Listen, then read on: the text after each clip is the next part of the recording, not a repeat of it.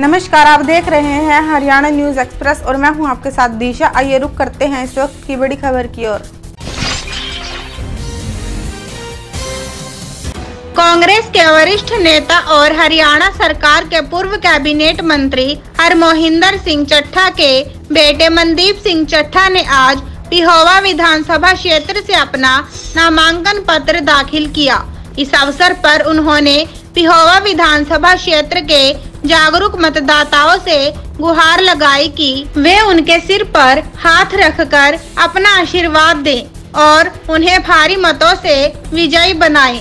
उन्होंने कांग्रेस पार्टी के शीर्ष नेतृत्व का हार्दिक आभार व्यक्त किया, जिन्होंने उन पर आस्था जताकर उन्हें पिहोवा से टिकट दी उन्होंने कहा कि वे कांग्रेस हाईकमान के साथ साथ पिहोवा की जनता की उम्मीदों पर खरा उतरेंगे। मनदीप सिंह चट्ठा ने कहा कि पिहोवा की जनता बीते 10 सालों से बढ़ रही जन समस्याओं के कारण बहुत दुखी है। विकास के मामले में पिहोवा बहुत पिछड़ चुका है। वे अब यहाँ की जनता की भलाई के लिए ही चुनावी मैदान में आए हैं। उन्होंने कहा कि पिहोवा की जनता देख चुकी है कि बीते 10 साल में भारतीय जनता पार्टी की सरकार ने पिहोवा में क्या विकास कार्य करवाया है।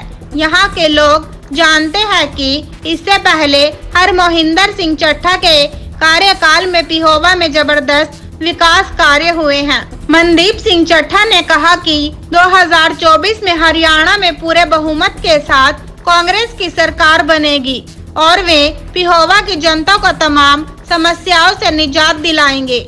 नामांकन दाखिल करने से पूर्व पिहोवा के खुशवंत पैलेस में स्थापित चुनावी कार्यालय में बड़ी संख्या में पहुंचकर सभी आयु वर्ग के लोगों ने उन्हें हार्दिक बधाई देते हुए उनकी कामयाबी की कामना की। इस मौके पर क्या कुछ कहा?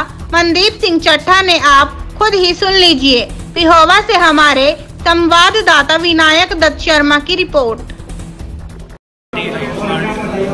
मेरे लीडर चौधरी भूपेंद्र सिंह हुड्डा जी देवधन जी और दीपेंद्र हुड्डा जी का बहुत बहुत धन्यवाद करता हूँ। राहुल जी का धन्यवाद करता हूँ जिन्होंने मेरे में आस्था व्यक्त करते हुए मुझे फिर से पेवा से टिकट दी।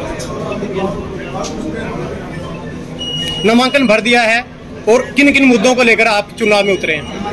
देखिए जो पिछले दस साल का भाजपा का राज है वो और पिछले, उससे पीछे दस साल जो सरदार हरविंदर सिंह चट्टा और भूपेंद्र सिंह हुड्डा का राज था, उसके बारे में तुलना हो रही है।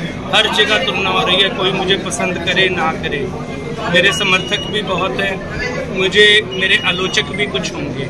लेकिन जो आलोचक भी हैं, वो भी ये कहते हैं, जितना हरविंदर सिंह चट्ठा ने काम किया, उतना आज तक किसी ने काम नहीं किया। तो क्या अब की बार जीत हासिल होगी?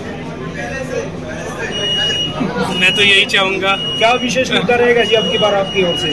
जी मेरा मुद्दा एक नहीं रहेगा। हर गाँव के अलग मुद्दे हैं शहर के अलग मुद्दे हैं। और हमारे राज्य में हर जगह क्या काम हुआ था पिछले दस साल में क्या हुआ इसका इसकी तुलना ज़रूर। तो शहरवासी से क्या अपील करेंगे जी? शहरवासियों से ये अपील करेंगे कि मेरे सिर पे हाथ रखें। और ज़्यादा से ज़्यादा वोट डाल के कांग्रेस का विजय अब की बार आप बहुत खुश नज़र आ रहे हैं हर बार की बार लगता है कुछ ना कुछ अब की बार खास होने वाला है। दो बार दो बार लड़ने के बाद तीसरी बार एक्सपीरियंस हो गया। हमारे फेसबुक पेज को लाइक फॉलो और शेयर करें। साथ ही यूट्यूब चैनल को लाइक करें सब्सक्राइब करें और ताज़ा खबरों के लिए बेल आइकॉन को दबाना न भूलें।